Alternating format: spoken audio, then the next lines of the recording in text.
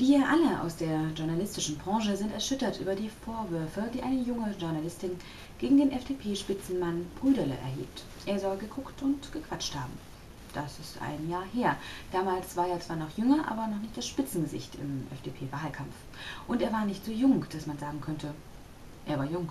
Es ist wirklich nicht mehr zeitgemäß und sehr schockierend, mit welcher Selbstverständlichkeit ein männlicher Politiker davon ausgeht, dass eine junge Journalistin an ihm interessiert ist und sich für die Nähe zu Insider-Informationen dazu hergibt, sich angucken und bequatschen zu lassen. Morgen geht's weiter.